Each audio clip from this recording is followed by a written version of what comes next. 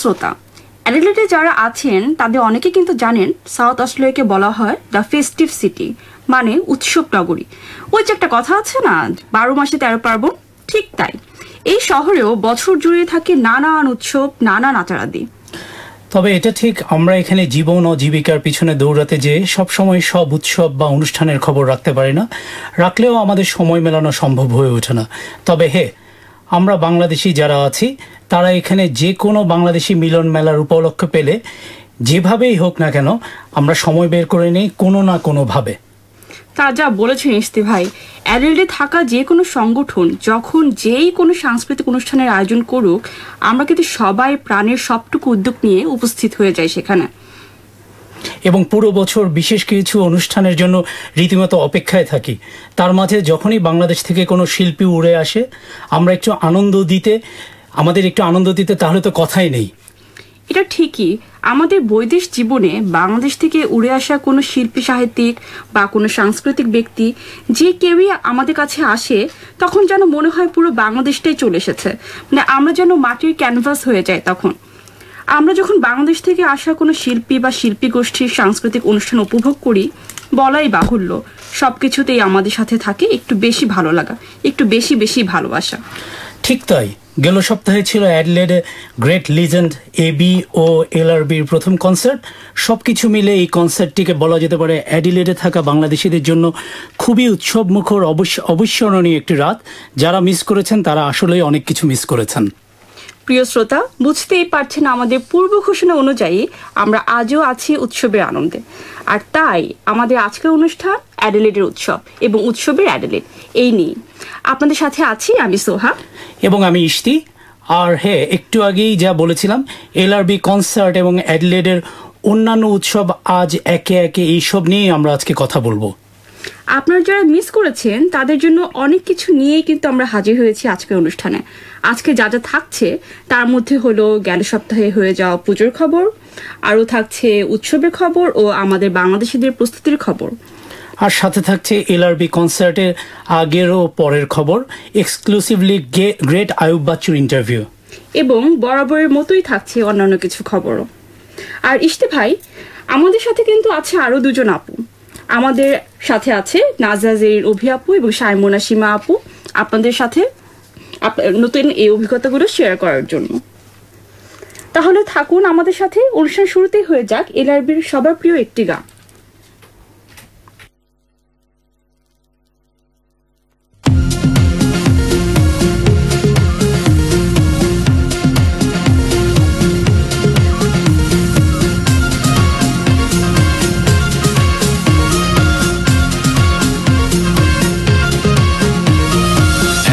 আকাশে তারা তুই, একা গুনিস গুনতে দিস তুই কিছু মরে।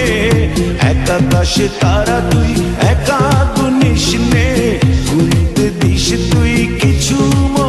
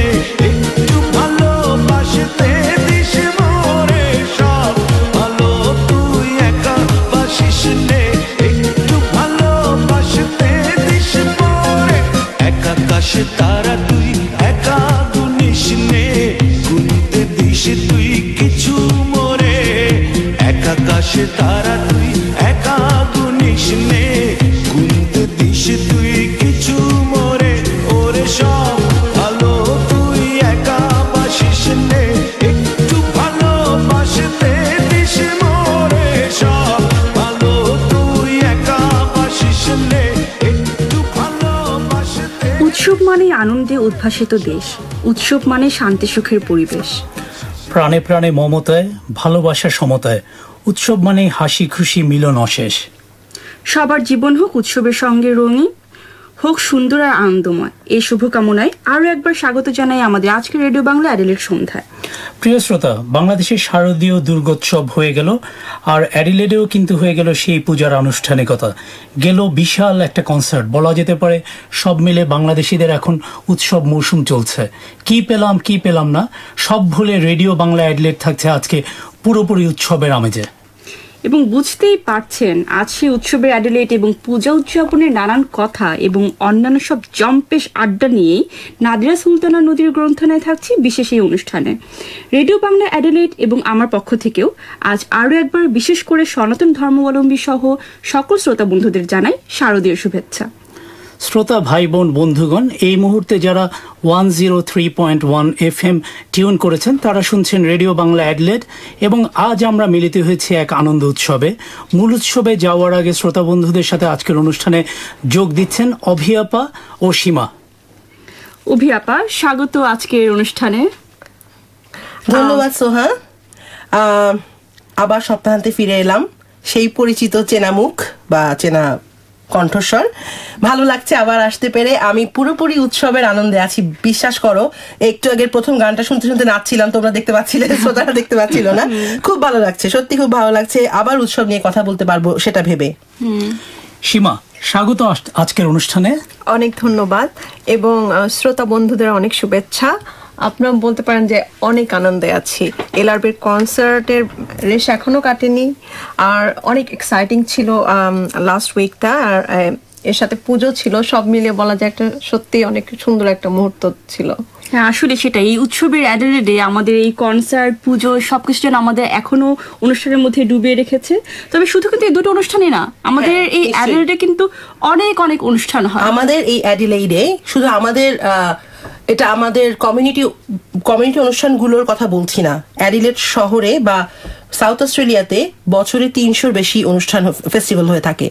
হ্যাঁ সেটাই এবং বড় বড় ফেস্টিভ্যাল এবং ওয়ার্ল্ড রিনাউন্ড ফেস্টিভ্যাল যেটা মানে একেবারে আন্তর্জাতিক খ্যাতি সম্পন্ন যেটাকে বলে যেমন অ্যাডিলেট ফ্রিঞ্জ হয়ে থাকে তারপরে অ্যাডিলেট ফেস্টিভ্যাল অফ আর্টস হয়ে থাকে তারপর অনেক হয়ে থাকে স্পোর্টস যেগুলি হ্যাঁ। সব বড় বড় স্পোর্টস ইভেন্টগুলো কিন্তু এখানে হচ্ছে ওয়ার্ল্ড সাইক্লিং হয় হ্যাঁ। প্লাস হচ্ছে গিয়ে আমাদের অ্যাডলেট ওভাল তো আছে ক্রিকেট খেলার জন্য যেটা কিনা হ্যাঁ। একটা অন্য রকম পর্যায়ে আমাদেরকে নিয়ে গিয়েছিল বছরের শুরুতে যখন বাংলাদেশ ক্রিকেট টিম এসেছিল। ওদের ফুটিদের কথা তো ভুলে গেলে চলবে না হ্যাঁ, টের হ্যাঁ। ওমের হবে সামনের সামনের বছর প্রতি বছরই হয়। তারপরে ইনফ্যাক্ট কয়েকদিন আগে হয়ে গেল moon lantern day new year celebrate করি আমরা এলডার্স পার্কে প্লাস গ্লেন এলগে বড় করে। এরকম তো আছেই। এছাড়া আমাদের কমিউনিটি অনুষ্ঠানগুলো আহ, দেখেন আমরা কত বড় করে পয়লা বৈশাখ উদযাপন করি বিজয় উৎসব করি বিজয় উৎসব। দিবসের পিঠা উৎসব হচ্ছে। তারপরে বিভিন্ন মানে ছোটখাটো করে আমরা কিন্তু কন্টিনিউয়াস একটার পর একটা উৎসবের মধ্যেই আছি। অ্যাডিলেট দ্য ফেস্টিভ্যাল সিটি মানে তারপরে ঈদ উৎসব ঈদ পুনর্মিলনী উৎসব মানে উৎসবগুলো তো আছে শেষ নেই একুশে ফেব্রুয়ারি ষোলোই ডিসেম্বর ছাব্বিশে মার্চ এগুলো আছে এবং হ্যাঁ। বিভিন্ন ধর্মীয় উৎসব যেগুলো যেরকম ঈদ পুজো এগুলো কিন্তু আমরা ভুলছি না। মানে সব অনুষ্ঠান যেন আমাদেরই জন্য। আমাদের বাঙালিদের অনুষ্ঠান তো আছেই ওটা আমাদের বাঙালিয়ানার অংশ। তার সাথে আবার তো এই যে আমাদের অ্যাডিলেইডের যে অনুষ্ঠান সবকিছু মিলে আমরা আসলে সবসময় কিন্তু খুব আনন্দে আছি। সত্যি কথা যেটা অনেক কনসার্ট হচ্ছে এমন অনেক কনসার্ট হচ্ছে অনেক বড় বড় থিয়েটার আসছে এখানে। আমরা জানি কয়েকদিন আগে এই যে আমার আমি এক এক্স্যাক্টলি বলতে পারব না এখনও চলছে কিনা ডার্টি ড্যান্সিং হয়ে গেল কি বিখ্যাত একটা হ্যাঁ। মানে একটা ব্যাপার। এরকম হচ্ছে। হ্যাঁ ডার্টি ড্যান্সিং একটা মুভি এখন ওটা ওরা ওটা মঞ্চস্থ মঞ্চস্থ করছে এখানে হ্যাঁ এখানে। এ তারপরে জোয়ান বায়েজ এসে চলে গেলেন। পুরো পুরো অস্ট্রেলিয়া ট্যুর করে আমার সৌভাগ্য হয়েছিল যাওয়ার জন্য এবং জোয়ান বায়েস হচ্ছেন এমন একজন ব্যক্তি তিনি আমি ওনাকে বা আমাদের বাঙালি জাতির সবাই ওনাকে দেখে একজন মুক্তিযোদ্ধা হিসাবে। কারণ উনি যেটা করেছিলেন আমাদের জন্য উনিশশো একাত্তর সালে মেডিসন স্কোয়ারে যে আমাদের জন্য যে কনসার্ট হয়েছিল জন জর্জ হ্যারিসনের জর্জ হ্যারিসন। এবং রবিশঙ্কর যেটা উদ্যোগ নিয়েছিলেন যে কনসার্টটির সেই কনসার্টটিতে বাংলাদেশ যে গানটি হয়েছিল জোয়ান ভাইস সেই গানটা লিখেছেন এবং তিনি ওই উৎসবে গিয়েছেন ওই কনসার্টে গিয়েছেন আমাদের জন্য ফান্ড রাইজ করেছেন। এরকম অনেক কিছু হচ্ছে খোঁজ রাখলে অ্যাডিলেড প্রতিদিন উৎসবের দিন অ্যাডিলেডে। যেমন নেক্সট উইকে কিন্তু হ্যালোইন হ্যাঁ এটা কিন্তু আমরা বাঙালিরা মানে পালন করি না। কিন্তু আপনি যদি সিটিতে যান তাহলে বুঝবেন কিন্তু মানে একটা খুবই মানে সবার একটা পাগল পাগল অবস্থা হ্যাঁ? ভূত আশেপাশে কিন্তু আমি তো একবার ট্যাক্সিতে যাচ্ছিলাম হঠাৎ করে পাশে দেখি পুরো একটা কঙ্কাল আমার দিকে তাকিয়ে আছে। ও মাই গড মানে এগুলো একটা ছোটখাটো আনন্দ কিন্তু খুবই মানে উৎসব মুখর থাকে না আসলে আমরা কি লাকি যে এই দেশ থেকে এত দূরে থেকে ওই পরবাসী থেকেও আমরা সারাক্ষণ কিন্তু উৎসবের মধ্যে থেকে সেই আনন্দটা উপভোগ করতে পারছি। দেশের দুঃখগুলো কিছুটা হলেও ভুলে থাকা যায় এটাও বলা যায়। যেটা খুব রিসেন্ট প্রোগ্রামের কথাই আমরা বলি যেহেতু আমাদের এলআরবি আমেজটা এখনও এখন যায়নি। এটা তো আমরা মানে প্রতিদিন ক্যারি করে নিয়ে চলছি আসলে হ্যাঁ, সেটাই। হ্যাঁ, মানে আমাদের মনে হয় পুরো একটা মাস আমরা শুধু এলআরবির এই যে জ্বর বলা যায় হ্যাঁ? আমাদের সবার এলআরবি জ্বরে ভুগছে হ্যাঁ এলআরবি ফিভার সেটাই মানে এর জন্য কতদিন ধরে প্রতীক্ষা আমাদের তাই না? সেই ফেসবুকে পেজে বারবার আসছে যে হ্যাঁ, হ্যাঁ এই তারিখে আমাদের প্রোগ্রাম হবে টিকিট বুকিং দাও বুকিং দাও এখানে আমি একটা জিনিস বলতে পারি যে এটাই মনে প্রথম হলো যে কোনো কনসার্টের টিকিট পুরো সোল্ড আউট হ্যাঁ, sold out হয়ে টিকিট ইভেন আমি টিকিট পাচ্ছিলাম না তো সামহাও হেল্প নিয়ে আমি একদম মানে টিকেটে গেটে গিয়ে একটা টিকিট পেয়েছি। মানে আমি নিজেকে অনেক লাকি মনে করি। তো এটাই বলতে পারি যে টিকিট পুরো সোল্ড আউট হয়ে গিয়েছে। মানে মানে মানুষ কত- আরও অনেক মজার মজার ঘটনা হয়েছে আমরা অবশ্যই সেগুলো আসলে শেয়ার হ্যাঁ করব। সেটাই। আসলে অনুষ্ঠানের মধ্যে দর্শকদেরকে জানিয়ে দিই যে একটা মজার বিষয় আপনাদের কিন্তু একটা ম্যাজিক মোমেন্ট আছে এখানে। সেটা হচ্ছে আমাদের প্রিয় অভিয়াপা কিন্তু আয়ুব বাচ্চু ভাইয়ের একটা ছোট্ট ইন্টারভিউ নিয়েছেন। হ্যাঁ ছোট করে একটা হয়েছিল। আমরা আসলে খুবই লাকি যে আমরা তার চলে যাওয়ার পরেও আমরা এখন তার ইন্টারভিউটুকু শুনতে পারব। হ্যাঁ। হ্যাঁ আপু আপনি কিছু বলবেন এই ইন্টারভিউ নিয়ে আগে? আগে ইন্টারভিউটা ম্যাজিক মোমেন্টটা চলে যাক তারপরে কিছু বলি না হয় তো কি পুরো গুস বাম হয়ে যাচ্ছে মানে শুনে আচ্ছা ঠিক আছে বন্ধুরা আমরা তাহলে ইন্টারভিউটা শুনে আসি। ভাইয়া পুরো অস্ট্রেলিয়া ট্যুরের অভিজ্ঞতা সম্পর্কে আমাদেরকে বলুন কেমন লাগছে অস্ট্রেলিয়াতে এসে? প্রিটি মাচ এক্সাইটিং কারণ হচ্ছে আমরা এর ইতিপূর্ব বিভিন্ন জায়গায় ট্যুর করেছি বাট অস্ট্রেলিয়া এটা আমাদের জন্য প্রথম একটা না ছয়টা স্টেটে বাজানো। ছয়টা different states mean lot to us it's like Canberra Brisbane Sydney Melbourne and Adelaide and of course it's gonna be the end পার্থে তো যেটা হয়েছে সেটা হচ্ছে আমাদের এতটুকু মনে হয়নি যে আমরা ঘরের বাইরে আছি। আচ্ছা। The wonder was we fell যে আমরা বাংলাদেশে আছি এবং আমাদের যে শ্রোতা যে বন্ধুরা যারা ভাই ব্রাদার যারা ভাই বোনরা যারা দেশের বাইরে আছে ষোলো কোটি লোক থেকে যারা বাইরে আছে তারা কিন্তু ষোলো কোটির একাংশ হয়ে যায়। আমাদেরকে দিয়েই। We are the bridge we connect them to Bangladesh এবং আমরা অপেক্ষা করে থাকি আপনাদের জন্য। এবং এটা আমি মনে করি অর্গানাইজার এবং আর্টিস্টের একটা বিরাট responsibilities to make people happy যারা দেখতে আসেন তাদেরকে। আচ্ছা ধন্যবাদ। আরেকটা প্রশ্ন ছিল সেটা হচ্ছে বাইরের ট্যুরগুলোর সাথে বাংলাদেশের যে কনসার্টের আয়োজন হয় পার্থক্যটা কি? To us it's almost like same আমাদের পয়েন্ট অফ ভিউতে বাংলাদেশে যে কনসার্টগুলো আমরা করি we take the same pressure same same energy লেভেলটা থাকে আমাদের। বাট বাইরের ট্যুরে যেটা হয় সেটা হচ্ছে জার্নিটা ইজ এ বিট একটু পেইনফুল ঘুরে বেড়াতে হয় বিভিন্ন শহরে। নয় ঘণ্টা জার্নি করে আবার এক জায়গায় ব্রেকআপ একটা ট্রানজিট পয়েন্ট দেন ওখান থেকে আবার আট দশ ঘণ্টা ব্রেকআপ করে আসা ট্রানজিট নিয়ে আসা ফাইনালি স্পটে পৌঁছানো আর if in case if in case after পৌঁছানোর পরে যদি দেখেন যে কি আপনার লাগেজ কিংবা গিটার কোনোটাই আসেনি then you just had it which we, হ্যাঁ। we have had already the experience at last tour in America. আমরা জেফকেতে নামার পর দেখি আমাদের লাগেজ এবং গিটার কিছুই আসেনি। আচ্ছা কতদিন লেগেছিল? ওটা চার পাঁচ দিন লেগেছে শো শেষ হয়ে গেছে। আচ্ছা আচ্ছা। The experience was uh, the organizer was so beautiful ওখানে উৎসব ডট কম রায়হান সাহেব। উনি একটা কথা বললেন যে ডোন্ট ওয়ারি হয়ে যাবে। তো ওনার ওই কনফিডেন্টের জায়গাটা আমাদেরকে এতটা আশ্বাস করেছে আশ্বস্ত করেছে যে উনি যদি বলতে পারে হয়ে যাবে তো হয়ে যাবে। And he bought me the same guitar for the show আমার যে গিটারটা আমি এনেছিলাম ওটা বিএফপি বলে ফ্লপ এটা এখানে যেটা ইউজ করব ওটা পর ভার্সন জি। ওটা অলরেডি প্লেনে রয়ে গেছে ওগুলি সব। আচ্ছা। আর উইয়ার ছিল আমাদের পরনের কাপড় চোপড় কিছু নেই। এক কাপড় ঘুরে বেড়াচ্ছে সবাই। পরে ওরা হয়তো গ্যাপ থেকে গিয়ে কিছু কাপড় চোপড় নিয়ে এসছে। এই আর কি। This was a big experience in first time ever in life and was funny to আমাদের শহরটা মানে অ্যাডিলেড হচ্ছে অন্যান্য স্টেটের তুলনায় মানে South Australia pretty much quiet এবং মানে ছোট শহর। এখানে এসে কেমন লাগছে? অদ্ভুত। অদ্ভুত। অন্তত আমার একটু আগে যেখানে ছিলাম ওখান থেকে একটু শান্তি পাচ্ছে এখন। কারণ হচ্ছে ঠান্ডার থেকে আমি মানে ফোর সিজন থেকে এখানে এসেছি এখন। সো অদ্ভুত। মানে Adelaide is good place I would say কারণ অনেক বেশি পিসফুল মনে হচ্ছে মানুষ অনেক কম। আচ্ছা আচ্ছা। মানুষ বাংলাদেশ থেকে এখানে আনা দরকার। আছে কিন্তু অনেক মোটামুটি। কম না? আনা দরকার আচ্ছা। তাহলে আপনি মানে আমরা আসলে আরও অনেক বাঙালিকে আমন্ত্রণ জানাব এবং নেক্সট টাইম এসে আপনি আরও অনেককে দেখতে পাবেন। আশা করছি।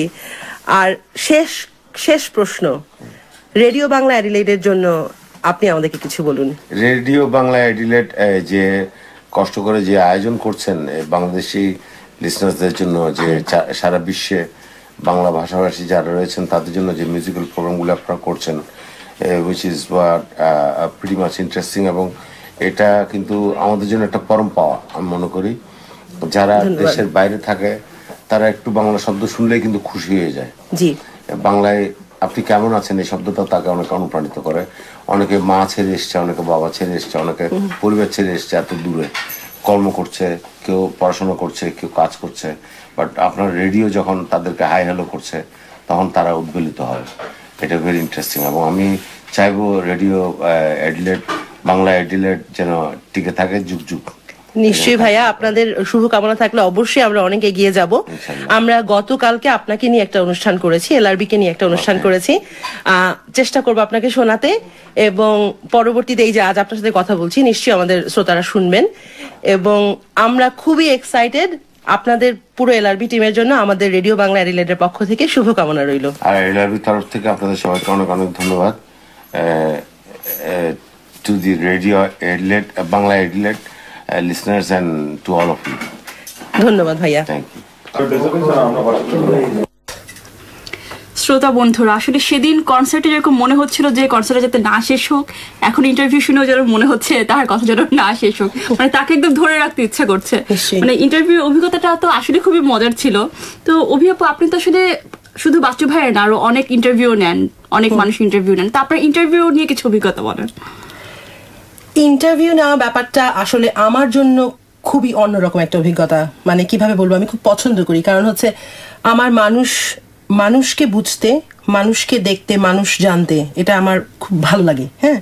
তো ইন্টারভিউ মানে কি? একটা মানুষকে মানে একটা মানুষ যিনি মানে আমরা আসলে কার ইন্টারভিউ নেই? যার কাছ থেকে সেরকম ভাবে আমরা কিছু পেতে পারি। কিছু আলোকিত মানুষের ইন্টারভিউ তো মানে অধিকাংশ ক্ষেত্রে আমরা নিয়ে থাকি হ্যাঁ? তো একজন আলোকিত মানুষকে কাছে বসে জানা তাকে প্রশ্ন করা এই অভিজ্ঞতা অন্যরকম।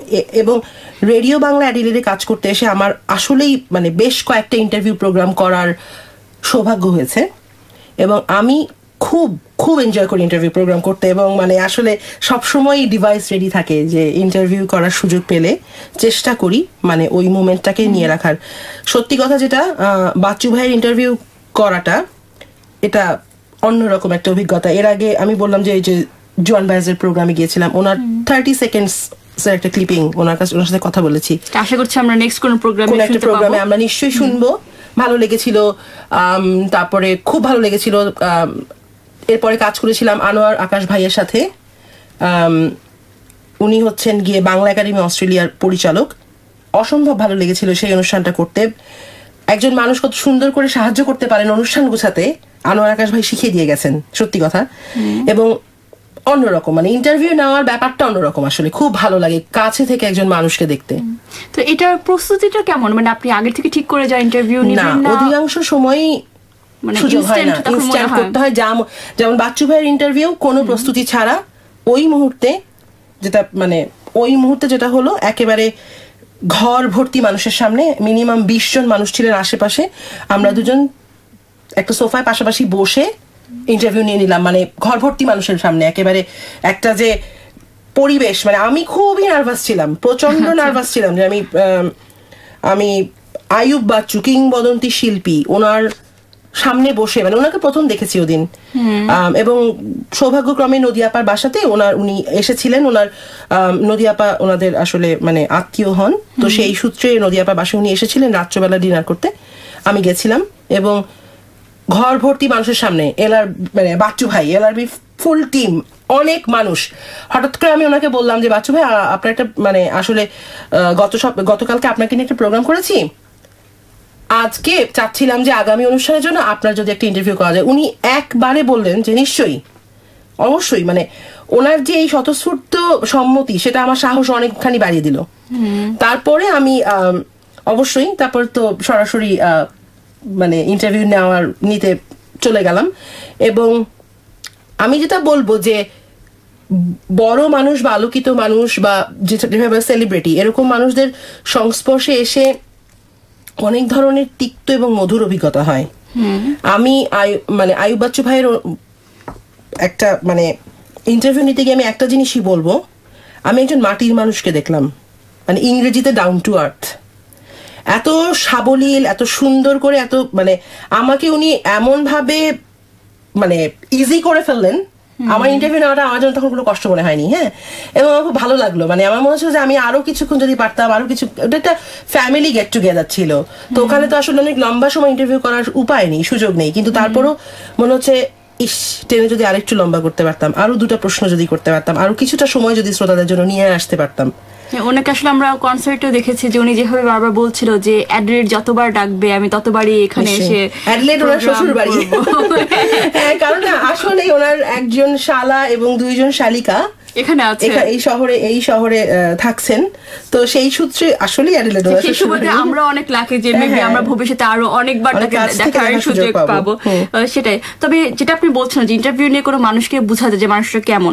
তো সে মাটির মানুষের মতো সেটা আমরা সেদিনও কিছুটা টের পেয়েছি আপনার মাধ্যমে আরও জানতে পারলাম। তো শুধু এলআরবির যেরকম বাচ্চু ভাই না আরও যারা অন্যরা ছিল ওদের সাথে কথা হয়েছে? প্রত্যেকেই।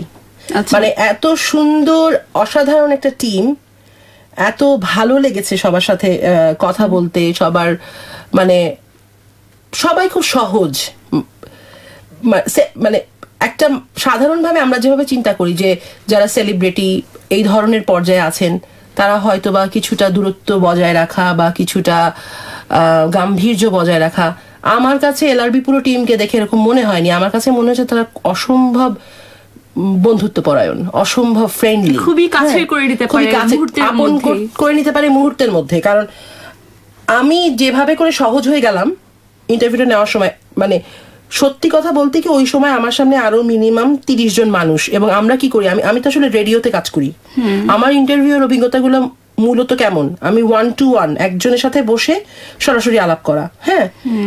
ঘর ভর্তি মানুষের সামনে এমন করে সবাই শুনছে এমন ভাবে ইন্টারভিউ নেওয়ার অভিজ্ঞতা আমার কিন্তু নেই। কিন্তু আমার কাজটা সহজ করে দিয়েছেন বাচ্চু ভাই। এবং এটা তাদের নিজস্ব তাদের যে সুন্দর ব্যবহার বা তাদের সুন্দর মানে তারা যে সুন্দর মানুষ তারা যে আলোকিত মানুষ তাই তাই তারা পারেন। আর একজনকে সহজ করে দিতে আর একজনকে আলোকিত করে দিতে। এটা মনে একজন শিল্পীর মাহাত্ম। শিল্পীর মাহাত্ম্য, হ্যাঁ, সে আসলে মন থেকে যখন গানগুলা গাচ্ছে এবং সে আসলে মন থেকেও এরকমই একজন মানুষ। তবে আচ্ছা ইন্টারভিউ তো আমরা যখন শুনি যেরকম সেলিব্রিটির ইন্টারভিউ আপনি নিচ্ছেন তো দর্শকদের ইন্টারভিউ কেমন লাগে নিতে? দর্শকদের ইন্টারভিউ নিতে খুবই ভালো লাগে কারণ দর্শকরা খুব আসলে কি বলব আহ, মাঝে মধ্যে মজার অভিজ্ঞতা হয়। অনেকে ইন্টারভিউ দিতে চায় না এটা একটা মানে লজ্জা বা ইয়ে কাজ করে। কিন্তু দর্শকদের ইন্টারভিউ গুলো কিন্তু অনেক অন্যরকম হয়।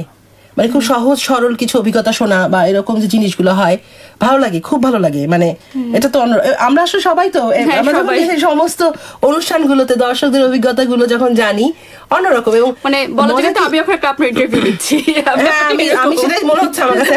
আমার ইন্টারভিউ হচ্ছে মানে কেমন যেন মানে সবসময় আমি থাকি ওই জায়গাটাতে এখন আমি আমাকে মনে হচ্ছে যে আমাকে প্রশ্ন করা হচ্ছে কঠিন কিন্তু আসলে বিষয়টা ইন্টারভিউ দেওয়াটা।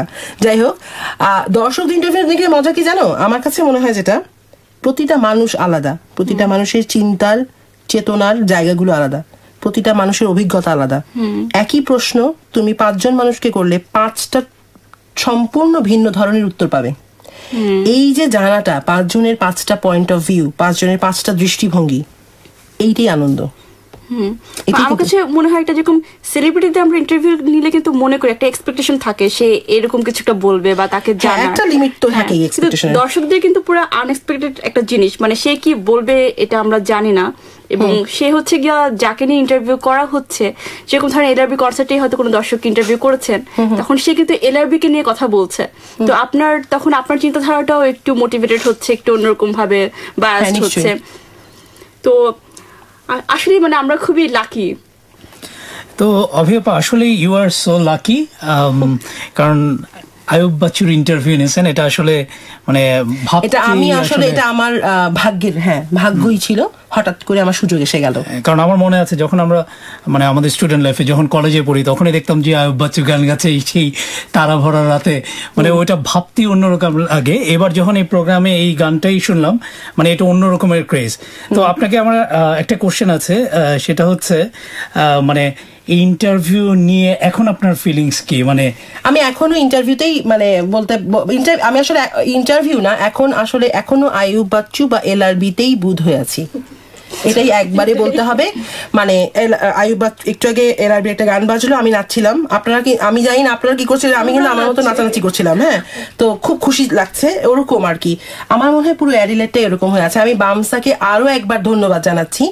ওরা মানে এই অর্গানাইজেশনটি আমাদের অসম্ভব আনন্দের কিছু মুহূর্ত উপহার দিয়েছে আমরা বের হতে পারছি না এবং আমরা আরেকবার ঢুকে যাই এলআরবি আরেকটি গানের মাধ্যমে সেটাই। হ্যাঁ সেটাই।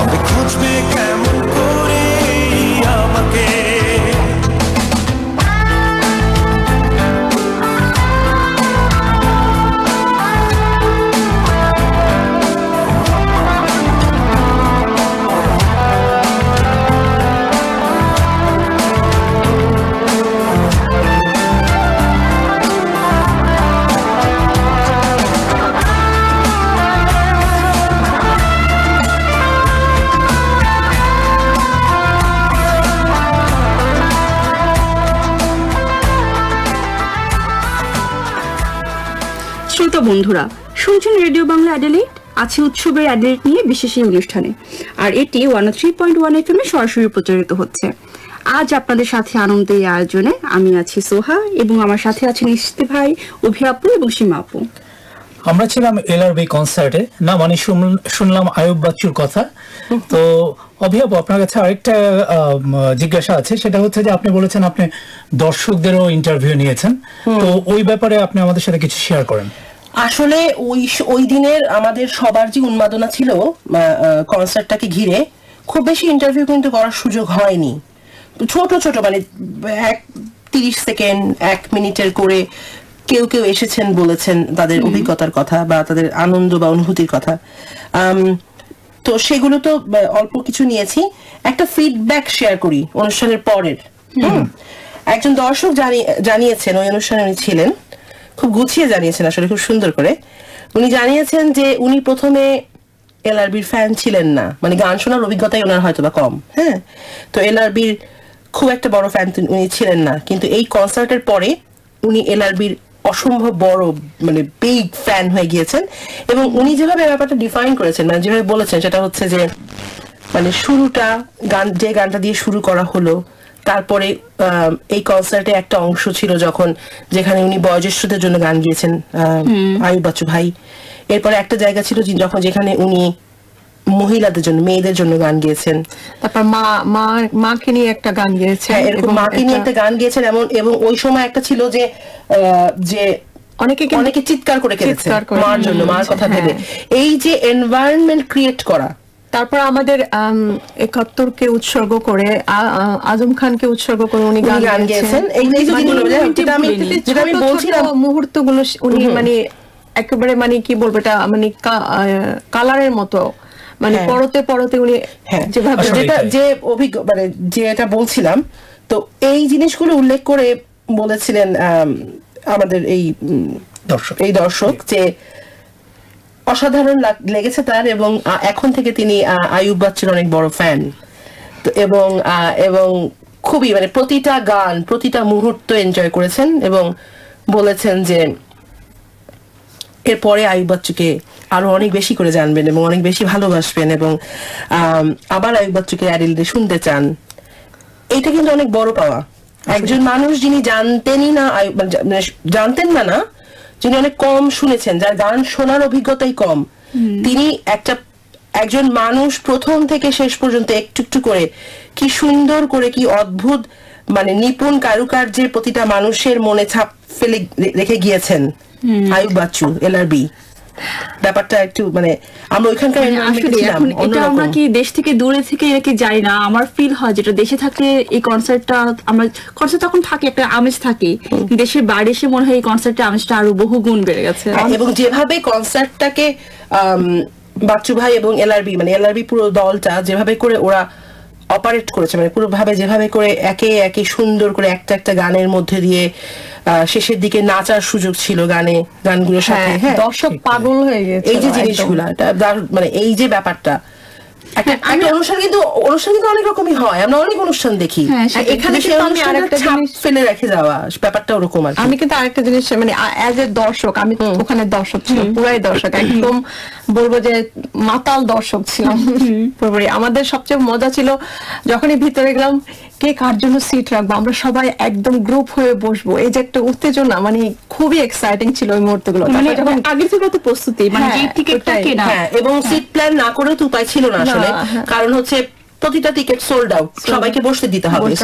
সুন্দর করে ভাবে সিট প্ল্যান করে বামসার আয়োজনকে ধন্যবাদ জানাতেই হয়। মানে হ্যাঁ, সিকিউরিটি সবকিছু এত সুন্দর ছিল। শুরু করে সিট প্ল্যান থেকে শুরু করে সুন্দর করে যেভাবে করে অনেক সুন্দর গোছানো ছিল ব্যাপারটা। তবে হ্যাঁ এই যে সিট প্ল্যানের ব্যাপারটা একা একা কনসার্ট দেখে কিন্তু কোনো মজা নেই। মানে বন্ধু বান্ধব সাথে হই হলে নাচানাচি হ্যাঁ। একটু মাতাল না সোহা, তুমি আমি একসাথেই ছিলাম ইনফ্যাক্ট আমরা দেখেছি যে মানে সব গ্রুপ ধরে ধরে একসাথে যেতে হবে না আর বামসা কিন্তু ট্রাই করেছে যে কেউ গ্রুপ নিয়ে আসলে তাদের এক একসাথে, হ্যাঁ, বসানো বসতে যায়। দেওয়া। সেই জন্য এটা খুবই বাবুকে সুন্দর একটা আরেকবার ব্যাপার ধন্যবাদ জানানো উচিত যে ওরা কিন্তু অ্যাকচুয়ালি বুঝেছে যে জোর করে যেই টিকিটে যার নাম্বার ওই সিটে বসতে হবে। এমন বাধ্যবাধকতা ছিল না। হ্যাঁ। এবং মানে কনসার্ট আসলে আমরা আমাদের যদিও আমাদের আসলে এরকম এত অসাধারণ সব শিল্পীদের নিয়ে অনেক কম অনুষ্ঠানে আমাদের বসা মানে আমাদের দেখা সুযোগ হয় অ্যাডিলেড শহরে। প্রতি বছরই হয় কিন্তু অত তো আর বেশি না। কিন্তু একটা জিনিস আমি আসলে বলব যে যে প্রস্তুতিটা কিছু আপু কিন্তু একই রকম শাড়ি পরে এসেছিল। হ্যাঁ। হ্যাঁ। তারপর আমরা তো কয়েকজন বান্ধবী আমি মানে আমরা ছিলাম যে আমরা রকস্টার মানে স্টাইলে যাব। হ্যাঁ, আমি কিন্তু আপনাদের মানে কিছু সরঞ্জাম দেখেছি যে হ্যাঁ। যে ওই যে কিছু ব্যান্ড পরে এসেছিল অন্ধকারে জ্বলছিল যে জিনিসটা হ্যাঁ। মানে কালারফুল তারপরে হ্যাঁ, ওই যে যেগুলি ফ্লাওয়ারের মতো ওগুলি দিয়ে মানে খুবই আর বিশেষ করে মেয়েদের অংশগ্রহণ তো চোখে পড়ার মতো। আমি এটাই বলতে চাচ্ছি বাচ্চু ভাই কিন্তু এটা বলেছে এখানে কিন্তু। বলেছে যে হ্যাঁ, হ্যাঁ, হ্যাঁ। সবাই হ্যাঁ, করেছি। আর মানে পুরো পুরোটার সময় মেয়েরা শুধু গাচ্ছিল। হ্যাঁ। এবং আরও মজার ব্যাপার হচ্ছে একজন দর্শক বলছেন যে একটা গান পরিচিত ছিল না। বলছেন এই প্রশ্ন তো কমন করে নাই। এ- এর সাথে আমি আরেকটা জিনিস অ্যাড করতে চাই। বাচ্চুর সাথে এলআরবির টোটাল একটা আমার কাছে মনে হচ্ছে যে টোটাল কনসার্টে খুব সুন্দর সিঙ্ক্রোনাইজ ছিল কারণ আপনি দেখবেন যে আয়ুব বাচ্চু যখন গান গাচ্ছে তার সাথে তার ড্রামারের যে একটা সম্পর্ক হ্যাঁ, তার গিটারের সাথে সাথে আমরা কিন্তু এটা অনেক এনজয় করেছি হ্যাঁ, মানে খুব সুন্দর। এবং ড্রামারটাকে আমার এত জ্যামিংগুলো অসাধারণ ছিল অসাধারণ ছিল। হ্যাঁ। এবং এবং ওই যে মাধুরী গানটার সময় যে যে ইয়েটা ছিল মানে ড্রামারের যে? এক্সপ্রেশন ছিল এবং তার যে ওখানে যে হ্যাঁ, ইনপুটটা ছিল অসাধারণ ছিল অসাধারণ ছিল। এটা এমন ছিল না যে আয়ুব বাচ্চু গাচ্ছে ড্রামার শুধু বাজাচ্ছে বা কোনো কিছু। ড্রামারের সাথে যে সিঙ্ক্রোনাইজেশন ড্রামার কথা বলছে আয়ুব বাচ্চু কথা বলছে ড্রামার শীষ দিচ্ছে আমার কাছে মনে হচ্ছিল যে এটা মানে একটা আনপ্ল্যান বাট এত সুন্দর হাসি ছিল, তাই না? হ্যাঁ এটা আমাদের গানটার সাথে হ্যাঁ মানে আমরা যখন ফিল করছিলাম তাদের অনুভূতিগুলো তারাও মনে হয় আমাদের অনুভূতিগুলো ফিল করছিল মানে আর মজার ব্যাপার হচ্ছে অনুষ্ঠান যখন শেষ হয়ে যাচ্ছিল যেটা বাংলাদেশে হয় না টাইম বাধা থাকে না কিন্তু টাইম বাধা ছিল ঠিক টাইমে শুরু করেছে এবং শেষের সময় কিন্তু তাকে যে তিনবার আমি দেখেছি যে যে বলছে অনুষ্ঠানের টাইম শেষ চলে যেতে। সে কিন্তু নিজেও গান থামাতে চাচ্ছে না মানে সে গেয়েই যাচ্ছে গেয়েই যাচ্ছে। were also enjoying. হ্যাঁ। এবং প্রতিটা গানের ব্যাপারে দেখো একদম প্রথম থেকে শুরু করে উনি সুখেরই পৃথিবী দিয়ে গানটা হ্যাঁ, শুরু হ্যাঁ, করেছিলেন, শুরু করেছেন। হ্যাঁ। সেই তুমি ছিল বাংলাদেশ এবং তারপরে মেয়েদের জন্য যে গানটা গাইলেন আমাদের আপুদের জন্য সবার জন্য যে আবার এলো যে সন্ধ্যা হ্যাঁ। মানে দেশা- দেশে জন্ম আমার ধন্য হলো মাগো আমি আমরা কেঁদেছি। আমরা অনেকেই কেঁদেছি দেশের জন্য কেঁদেছি। মানে আমার কাছে মনে হচ্ছে একজন নিপুণ শিল্পীর হাতে একটু একটু করে বোনা কারুকাজের মতো করে এলআরবি এবং বাচ্চু ভাই প্রোগ্রামটি এখানে সাজিয়েছেন আরেকটা কথা আমি বলতে চাচ্ছি। আমার মানে আমি জানি না যদি বাংলাদেশে থাকতাম আসলে এই সুযোগ কারণ আমি যখন বাংলাদেশে ছিলাম কনসার্ট দেখার মতো সুযোগ কিন্তু হয় না। কারণ দেখা যায় সোল্ড আউট সোল্ড আউট হয়ে গেলে ওখানে সিকিউরিটির ভয় সবকিছু মিলিয়ে আমি বলব যে সত্যি আমি অনেক লাকি যে আমি এখানে এসে এলআরবির সাথে সাথে দেখা করার সুযোগ হয়েছে। এটা সত্যি অনেক বিশাল একটা তবে আমি বলব যে প্ল্যান করে আসলে এত সুন্দর অনুষ্ঠান হয় না। মানে এত স্বতঃস্ফূর্ত ভাবে আমাদের সবার উপস্থিতি ওখানে ছিল। হ্যাঁ সাতটার প্রোগ্রাম সাতটায় শুরু হয়েছে। মানে পুরো আয়োজনটা অসাধারণ ছিল। আমরা এরকম আয়োজন অ্যাডিলিডে আরও বারবার দেখতে চাই। হ্যাঁ তবে আমাদের এই প্রোগ্রামে যেহেতু গিয়েছি এবং কিছু দর্শকের ইন্টারভিউ আপনি যেটা নিয়েছেন তা আমরা শ্রোতা বন্ধুরা আমরা ওই ওই ইন্টারভিউ গুলো একটু শুনে শুরু করার আগে ছোট্ট করে বলি যারা স্টলে ছিলেন আপুরা আমি একজন স্টল দিয়েছিলেন একজন আপুর ইন্টারভিউ নিতে পেরেছি। এরপরে এমনই জমজমাট হয়ে গেল স্টলের জায়গাটা এত অসাধারণ সব খাবার ছিল। আমরা মানে একাধারে খাচ্ছি সবাই উৎফুল্ল উন্মাদনা চলছে। সবার ইন্টারভিউ নেওয়া হয়নি। আগামী কোন অনুষ্ঠানে অবশ্যই হবে। রেডিও বাংলা অ্যাডিলেট সবার অনুভূতিগুলো জানবে। আর বাকিদের মানে দর্শকদের যে অনুভূতি জানার ব্যাপারটা সেটা হচ্ছে যে সবাই এতই উত্তেজিত এবং এত উন্মাদনায় ছিল কাউকে পাওয়াই যাচ্ছিল না অলমোস্ট যে হ্যাঁ, মানে শুনব না বলব। শুনব না বলব সেই ব্যাপারটাই। হ্যাঁ সেটাই। একটা ক্রাউড ছিল তাই না? হ্যাঁ, মানে অসাধারণ। এক ফোঁটা পা আমরা। ইন্টারভিউ গুলো। শ্রোতা কথা বলছি নাসিমা ভাবির সাথে যিনি আজকের কনসার্টে এই আনন্দ ঘন মুহূর্তে আমাদের জন্য পশরা সাজিয়েছেন অসাধারণ সুন্দর সব মজার মজার খাবারের। নাসিমা আপু কি মনে হয়? আজকের কেমন হচ্ছে? সবকিছু মিলে কি মনে হয়? কেমন হবে? বিক্রি প্লাস সব মিলে আয়োজন কীরকম? আপনার নিজের আয়োজন সম্পর্কে কিছু বলুন। আমার আয়োজনে কোনো কমতি নেই কিন্তু এখন জানি না বিক্রি কেমন হবে। আশা করি ভালো হবে কারণ যেহেতু সব দিকে বিক্রি হয়ে গেছে আশা করি শুধু আমার না যারা যারা স্টল দিয়েছে সবারই সব খাবার ভালো বিক্রি হবে। তাই? আচ্ছা আচ্ছা। আর এমনি এক্সাইটেড অবশ্যই কারণ এত বড় একটা আয়োজন। সুযোগ পাবেন ও গান শোনার সুযোগ হবে? চেষ্টা করব ফাঁকে ফাঁকে যে যে গানটা একটু শুনে আসতে। নিশ্চয়ই। অনেক ভালো লাগল কথা বলে। রেডিও বাংলা রিলের পক্ষ থেকে আপনাকে শুভেচ্ছা। তোমাকে অনেক ধন্যবাদ। শুভেচ্ছা। প্রিয় শ্রোতা কথা বলছি আনিস আহমেদ ভাইয়ের সাথে। যিনি এলআরবির বিশেষ ভক্ত এবং আজকে কনসার্ট আয়োজনে সাহায্য সহযোগিতা করছেন, শুনব ওনার অনুভূতি। ধন্যবাদ। এলআরবি বহু বহু আগে থেকে এলআরবি কনসার্ট দেখে আসছি সেই ছাত্র জীবন থেকে ভোলার মতো ন প্রথম থেকে যখন আয়ুব বাচ্চু প্রোগ্রাম করতেন, আজ থেকে প্রায় পঁচিশ বছর আগের কথা বলছি। অন্যরকম একটা অনুভূতি হতো। সেই এলআরবি যখন সেই সাত সমুদ্র তেরো নদী পার হয়ে অস্ট্রেলিয়ার অ্যাডলেডে আসলো, তখন সেই সুযোগটা হাতছাড়া করার কোনোই উপায় নেই। ইনশাল্লাহ কনসার্ট উপভোগ করব এবং বাকি যারা দর্শকরা আছেন কনসার্ট উপভোগ করবেন, সেই আশা করছি এবং অনেক অনেক শুভেচ্ছা সবাইকে। ধন্যবাদ। ধন্যবাদ আনিস ভাই। কনসার্টের ফিলিংস কেমন বলেন? কনসার্টের ফিলিংস খুব ভালো বাট নাচতে দিতে নাচতে দিতে আরও ভালো হতো করতে জানি শুধু কনসার্টের মজাই নষ্ট। তাই কিন্তু ওভারঅল সব ওটা বাদ দেন অনেকদিন পরে কনসার্ট খুবই ভালো হয়েছে। তাই। আর ডেফিনেটলি অবশ্যই অবশ্যই আমরা সবাই খুব এনজয় করছি।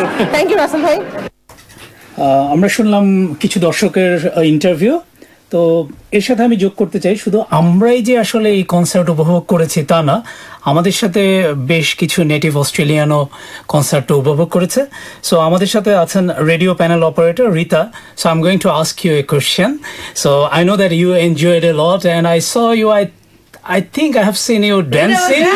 so I want to know what was your feelings regarding the concert. I thought it was the best three hours Okay. of music that I've heard. I've not seen Oh my God, that's one artist. compliment. Yeah, I've not seen one artist or band that has played or sung for three hours straight. They've always had a backing person to come out halfway Mm-hmm. through so that they get a bit of a break. But these guys were fantastic. You know, like they they were awesome, absolutely. and um, every the crowd were just so wonderful too. You know, like everybody was really enjoying it. And um, what really threw me was that he threw in a couple of English songs, which was Yeah. really, really He sang for you, I guess. oh, thank you. I think he did that for some of the younger students as well. But you know, like he included absolutely everybody in that. Yeah. So um, yeah. And you were saying something about the drummer. I mean, I don't speak yeah. Bangladesh, but you know, like I can understand. Have you seen the energy level of the drummer? He Like, he yeah. was just It's superb. tremendous, right? Oh, Yeah. Absolutely, you just can't uh, imagine how good it was, and the, and the way that they played together. You know, like um, they played off The each other. synchronization. Yes, That absolutely. was awesome. It Yeah. was Yeah. awesome, yeah. It's good to know that you really enjoyed the concert. I did, and, yeah. really, if Yeah, I was sitting if- by her, and she she was uh, so awesome. She was like um, so full of power. Thank you very much. we are delighted, Rita, that you loved our concert. It's something like really, uh, it, obviously, it's totally different language and uh, totally different, language, different but culture. Yeah, but um, I've seen um, other bands that are rock and roll Mm-hmm. and- or really heavy metal type bands, um, and uh, these guys are just. They, Awesome. they just surpass anybody, and I and They're so amazing, versatile yeah. as Yeah. well. well, absolutely, it? absolutely. Yes. So, Yeah. and and what really got me too was that they stayed behind after the program and let everybody go up there and take photographs with them or get introduced to them and things like that. They are which really you don't. down to earth. Yeah, absolutely, and they don't You don't see that anywhere else. So I was really proud to be there, and of course, everybody that's on Facebook would see that my photos. So yes, I was up there with the band. so No, I it's- really enjoyed it. Thank you very much, guys. No, no worries. Yeah, thank So- you, Rita. আহ, আসলে মানে সঙ্গীতের যে আরেকটা ভাষা আছে মানে সেটা সেটা। কিন্তু আমাদের রেডিও প্যানেল অপারেটর রিটা আরেকবার প্রমাণ করে দিল যে আসলে ও ভাষা না বুঝলেও সেই সুরে এবং ওই রিদেমে যে অনুপ্রাণিত হতে পারে। আসলে অনুপ্রাণিত হতে পারে সেটা এবং বাচ্চু ভাইকে সেজন্য আরেকবার ধন্যবাদ যে উনি শুধু আমাদের দেশের মানুষদেরই না উনি পুরা পৃথিবীর মানুষদেরকে তার নিজের সঙ্গীতের মূর্ছনায় মানে ভুলিয়ে রেখেছে। সেটাই। সেটা এবং আশা করছি এই অনুষ্ঠানটি যদি ওনা- ওনাকে শোনানোর সুযোগ হয় একজন বিদেশিনীর মুখে ওনার ব্যান্ড সম্পর্কে এলআরবি সম্পর্কে জেনে অবশ্যই উনি আনন্দিত হবেন অবশ্যই এবং এটা মনে হয় অ্যাডাল্ট থেকে সব থেকে বড় পাওয়া হবে ওনার নিশ্চয়ই, নিশ্চয়ই। যাই হোক আমাদের অনুষ্ঠানটা কিন্তু ছিল উৎসবের অ্যাডাল্ট নিয়ে কিন্তু আমরা শুধু কনসার্ট নিয়ে কথা বলছি এর জন্য বাচ্চু ভাইকে কি বলব জানি না কারণ উনি আমাদের কথাই বলতে দিচ্ছে না অন্য উৎসব নিয়ে কিন্তু একটু মনে হয় ঘোরা উচিত কারণ আমাদের। কনসার্টের পর পরে অসাধারণ ছিল একটা আমি শুধু একটা হ্যাঁ। জিনিস অ্যাড করতে চাই সেটা হচ্ছে যে সেম আপনারা যা বলেছেন thanks lot to Bamsa and specially আমার একটা পার্সোনাল আমি আসলে টিকিট নিয়ে শেষের দিকে টিকিটই পাওয়া যাচ্ছিল না এবং আমার দুইটা টিকিট খুব দরকার ছিল। তো আমি আসলে ওয়াজিদ ভাইকে ফোন করেছিলাম। তো ওনার থেকে খুব অনেক সাপোর্ট পেয়েছে so I am grateful to him Bamsa যেভাবে আয়োজন করেছে প্রোগ্রামটি আমরা আশা করছি ভবিষ্যতে বামসা আমাদেরকে আরও অনেক সুন্দর সুন্দর উপহার দিবে। আর ওনারা ওনারা ট্রাই করেছে যে সবাইকে কেউ যেন মিস না করে অনুষ্ঠানটা। সেটা টিকিট যেভাবে হোক হ্যাঁ। তবে এরপরেও যারা মিস করেছেন প্রোগ্রামটি ভবিষ্যতে দয়া করে কেউ মিস করবেন না। সেটা তবে আমরা এখন একটু পুজোতে ফিরে আসি কারণ শুধু কনসার্টে কথা বললেই হবে না যদি সময় বেশি নেই খুবই অল্প কথা বলতে হবে। তারপরও পুজো হচ্ছে আমাদের জীবনের মানে শুধু ধর্ম না এটা কিন্তু আমাদের বাঙালির একটা অংশ হয়ে গিয়েছে। আমরা মুসলমান হয়ে অন্য কোনো ধর্মে হয়ে পুজো মানে হচ্ছে নাড়ু খেতে হবে। হ্যাঁ মানে যেটা আমরা বলি ধর্ম যার যার উৎসব সবার মানে অ্যাডাল্ট বাসীদের জন্য সেটা পুরোপুরি সত্যি। তো আপু কিছু বলেন পুজো নিয়ে আপনি তো ছিলেন ওখানে দেখেছি আপনাকে। পুজোতে তো ছিলামই তার সাথে একটা জিনিস বলতে হয় যে আহ, আমি বড় হয়েছি পুরনো ঢাকায়। আচ্ছা। আমার পুজো মানে আমার জন্য পুজো হচ্ছে গিয়ে কি বলব? ধর্মীয় উৎসব হিসেবে কখনো দেখিনি মানে নিজের একটা অংশের মতো, নিজের উৎসব। মানে এমন ভাবেই সবসময় ছোটবেলা থেকে, কারণ শাকারি বাজার একদম পাশেই আমাদের বাসা ছিল হ্যাঁ? অন্যরকম একেবারে ষষ্ঠীর দিন থেকে শুরু করে বিজয়া দশমী অসাধারণ অনুভূতি এবং পুজোর ব্যাপারে আমরা যদি অনেকেই অবশ্যই হিন্দু ধর্মাবলম্বীরা তো অবশ্যই জানেন। কিছু একটু বলি, যেমন পুজোর মূল অনুষ্ঠানগুলো হয় কিন্তু ষষ্ঠী থেকে দশমী যেটা, সেটা হচ্ছে শুক্লপক্ষ, আশ্বিন মাসের শুক্লপক্ষকে। এবং মূলত দেবী দুর্গার মহিষাসুরকে বধ করার যে উৎসব মানে যে আনন্দ, সেটা নিয়েই আসলে এই উৎসবের এই উৎসবটা পালিত হয়ে থাকে। উৎসবের শেষে বিজয়া দশমীর দিনে, অষ্টমীর দিনে দেবী দুর্গা মহিষাসুরকে বধ করেছিলেন। এবং দশমী হচ্ছে গিয়ে তার বিসর্জনের দিন মানে দেবী দুর্গার বিসর্জনের দিন।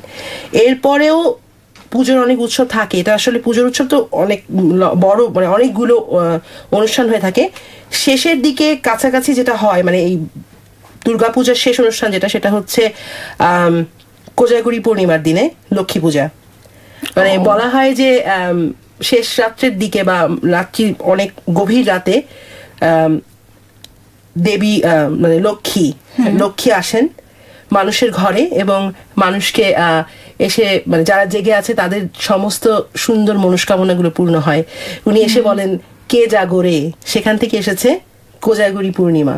তো পুরো বিজয় বিজয়া মানে লাইক পুরো বিজয়া বা পুরো শারদীয়া দুর্গা পূজার যে পেছনের যে গল্পগুলো যে কাহিনীগুলো যে মানে যে অনুষ্ঠানগুলো সাথে সাথে যে আনুষ্ঠানিকতাগুলো হয় এগুলো কিন্তু আসলে অন্যরকম ফ্যাসিনেটিং মানে একটা বাঙালি আনার একটা অংশ হয়ে গিয়েছে অবশ্যই, হ্যাঁ? অবশ্যই। মানে যেমন আমি বরিশালের মেয়ে তো বরিশালে হিন্দু আর মুসলমান বল- যায় যে সমান সমান। পুজো পুজো মানে হচ্ছে পুরো রাস্তা একদম লাইটিং সবকিছু দিয়ে একদম এত মানে অন্যরকম একটা জগৎ তখন। হ্যাঁ। যত কাজ থাকুক থাকুক আপনার তো আপনাকে সন্ধ্যার সময় বেরোতেই হবে পুজো যেতে হবে দেখতে হবে এই যে একটা আনন্দ হ্যাঁ অষ্টমীর দিনে যে হয় মানে হ্যাঁ। মণ্ডপে মণ্ডপে ঘুরে পুজো দেখা এটা কিন্তু একটা টোটালি অন্যরকম ফিলিংস মানে এটা- সত্যি এবং আমাদের সবারই কম বেশি অভিজ্ঞতা আছে যারা মানে বাংলাদেশ থেকে যারা এসেছি আমরা তো সবাই কম বেশি পুজো দেখে এসেছি। আমাদের ধর্ম না হোক কিন্তু একটা জিনিস কিন্তু সত্যি যে আমরা যেহেতু আসলে খুব ভাতৃত্বপূর্ণ বা আমাদের দেশের যে কালচার কালচারটা হচ্ছে আমরা খুবই বন্ধুত্বপূর্ণ সহাবস্থানে হ্যাঁ আছি। এই ধর্ম হ্যাঁ। অনুষ্ঠানগুলোই কিন্তু আমাদের কাছাকাছি আনে তাই না? এবং মানে হিন্দু সবাই আমরা আরও কাছে আরও আসে কাছে চলে আসি। আর যেটাই হোক হচ্ছে একটাই কথা ধর্ম যার যার দেশ সবার আর উৎসবের আনন্দ সবার। সেটাই। হ্যাঁ এটা এই জন্য মানে পিছনে পুজোর পিছনে কাহিনীগুলো তো আসলে অসাধারণ তবে আমরা যারা জানি না অন্য ধর্মের মানুষ আমরা কিন্তু কাহিনীগুলো পড়তে শুনতে মজা পাই অন্যরকম একটা প্রোগ্রাম দেখতে চাই তবে পুজো কিন্তু আরেকটা মজার ব্যাপার আছে যেটা হচ্ছে খাওয়া দাওয়া। ও খাওয়া দাওয়ার কথা বলো না। আমি তো আসলে খাওয়া পাগল মানুষ। লক্ষ্মী পূজার নাড়ু এটা হচ্ছে হ্যাঁ, মানে মানে আমরা আমি এবং সোহা বলব, এটা কিন্তু সারা বছর মনে হয় করে থাকি। এক- একটু বলি আমি এবং সোহা এবার একসাথে একটা পুজোর পুজো কমিটির অনুষ্ঠানে গিয়েছিলাম। এবার অ্যাডিলেইডে যে সাউথ অস্ট্রেলিয়ার পুজো কমিটির যে আহ, তারা শারদীয় দুর্গোৎসব করেছে সেই অনুষ্ঠানে আমার এবং সোহার যাওয়ার অভিজ্ঞতা হয়েছিল। অসাধারণ সব খাবার ছিল এবং অবশ্যই আয়োজকদেরকে ধন্যবাদ জানাতে হয়। এত সুন্দর আয়োজন করেছেন। প্রতিটি গান নাচ এবং ওখানে একটা একটা স্পিচ ছিল। ধর্মীয় মানে হিন্দু ধর্মের বিষয় আসলে মানে দেবী দুর্গা এবং তাদের বিভিন্ন মানে অনু- মানে অনুষ্ঠানাদি সম্পর্কে। অনেক ইনফরমেটিভ এবং খুব ভালো লেগেছে। খাওয়াগুলোর জন্য অসাধারণ কি লম্বা লাইন সোহা কিছু বলছো না যে আমি মানে আমি এখন হ্যাঁ। আসলে সেই পুজোর কথাটি মনে করছি কারণ এত সুন্দর প্রোগ্রাম ছিল সত্যি তবে মাথার মধ্যে কিন্তু সে খাওয়ার ব্যাপারটা ঘুরছিল কখন খাব কখন খাব কখন খাব এবং অনুষ্ঠান শেষে যখন খাওয়ার জন্য যে লম্বা লাইন আসলে পুরো গেটের বাইরে চলে গিয়েছিলাম হ্যাঁ, বলা হ্যাঁ, যায় আমরা সবাই, হ্যাঁ। এবং কিছু মানুষ আমরা ছিলাম এটা অবশ্যই বলতে হবে যারা লাইনে না দাঁড়িয়ে সামনে গিয়ে। সামনে গিয়ে গিয়ে একটু একটু হ্যাঁ একটু প্রবলেম ঠিকই করছিলাম কিন্তু ওটা আসলে একটা ফান বলা যায় খুবই মজা হয়েছে আসলে অসাধারণ লেগেছে। আমি গত বছর গিয়েছিলাম এবং খুবই খুবই সুন্দর। ওদের আয়োজনটা এত সুন্দর। আর আর সবচেয়ে বড় আর যেটা বলতে চাচ্ছিলাম যে নাড়ুটা নিয়ে ওটা নিয়ে মানে আমি সবসময় কথা বলতে পারি। কত নাড়ু খেয়েছি কিন্তু ওই যে লক্ষ্মী পূজার দিন যে ওনারা কীভাবে বানায় আমি ঠিক হ্যাঁ জানি মানে ওদের নাড়ু ওদের সবজি লাবড়া চাটনি এগুলো না হলে যেন পুজোটা কমপ্লিট হয় না। হ্যাঁ। সেটাই। তো দর্শক বন্ধু আমরা আসলে অনুষ্ঠানে একদম শেষ পর্যায়ে চলে এসেছি। তো পুজুলি ভাই আপনি কিছু বলেন? হ্যাঁ ইস্তি ভাই পুজো নিয়ে কিছু বলেন। আপনি কি হারিয়ে গেছেন পুজো অনুষ্ঠানে? আমি আসলে আপনাদের কথা শুনছিলাম কারণ এই বছর যাওয়া হয় নাই তো খাওয়ার কথা চিন্তা করে আসলে জিভে জল চলে আসছে। তো আমরা এখন লাস্ট একটি গান শুনি পূজার। হ্যাঁ সেটা আমার মনে হয় আমরা গান শুনতে শুনতে বাড়ি যাব। শ্রোতা বন্ধুরা আশা করছি আমাদের মতো আপনাদেরকেও ইতিমধ্যে সব উৎসবের আমেজ এসে ছুঁয়ে গেছে। এবং আপনারা প্লিজ এই আমেজটা ছড়িয়ে দেন সবখানে। এবং গানের পরে মনে হয় না আমাদের বিদায় জানানোর সময় হচ্ছে। তাই প্রথমেই বিদায় জানিয়ে দিচ্ছি এখনই বিদায় জানিয়ে গানে যাই আমরা। হ্যাঁ সেটাই সেটাই। শুভরাত্রি শ্রোতা বন্ধুরা। শুভরাত্রি শ্রোতা। ফিরে আসব আবার কোনো এক সময়।